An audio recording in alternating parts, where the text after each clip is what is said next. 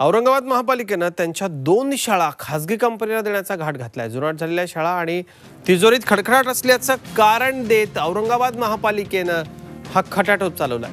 हा सगळा प्रकार नेमका काय आहे एक नजर टाकूया.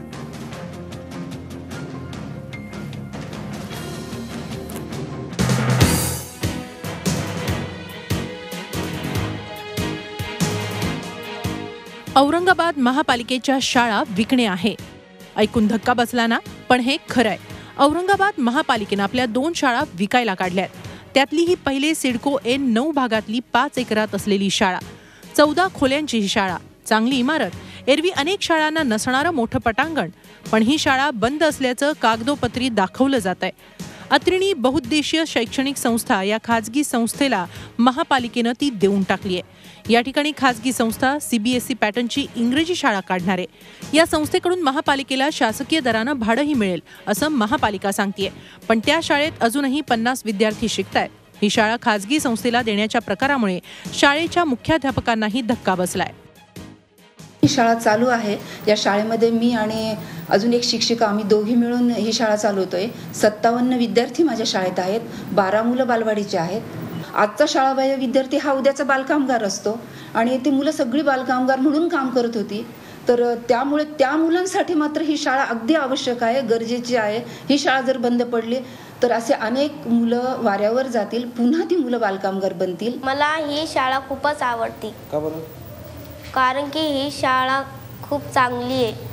शिक्षक चांगले आहे त्यांचे. ये स्कूल बहुत अच्छी है और खेलने को बहुत अच्छा है और बेंच वो सब है और मैडम वो भी अच्छे है। महापालिका आणि खाजगी संस्था यांच्यात भाडे करार झालाय का? झाला असल्यास तो किती दिवसांचा आहे? किती विद्यार्थ्यांना सीबीएसईचं मोफत शिक्षण देणार हे सगळंच गुलदस्त्यात आहे. असं असताना शाळा खाजगी संस्थेला देण्यामागे फायदा कुणाचा? असा प्रश्न पडतो. इमारत जीर्ण झालेली आहे शाळा पडायला आलेली आहे या शाळेत कुणी शिकतच नाही. असा काहीसा अभिप्राय महापालिकेनं नोंदवून या शाळा खाजगीकरण करण्याचा घाट घातलाय. खरं तर प्रत्यक्षात इमारतही चांगली आहे आणि या ठिकाणी मुलंही शिकतात. मग नक्की कुणाचा फायदा करण्यासाठी महापालिका या शाळांचं खाजगीकरण करते हे पाहणं महत्त्वाचं ठरणार आहे.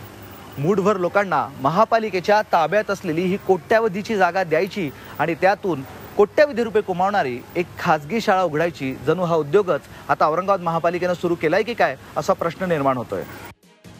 ही शाळा खाजगी संस्थेला बहाल करण्यात बराच गोलमाल झाल्याचं सांगितलं जात आहे. वीस जुलै दोन हजार सतराच्या महापालिकेच्या सर्वसाधारण सभेत भाजपचे तत्कालीन महापौर भगवान घडामोळे यांनी ऐनवेळी हा प्रस्ताव आणून तो गुपचूप मंजूर करून घेतला.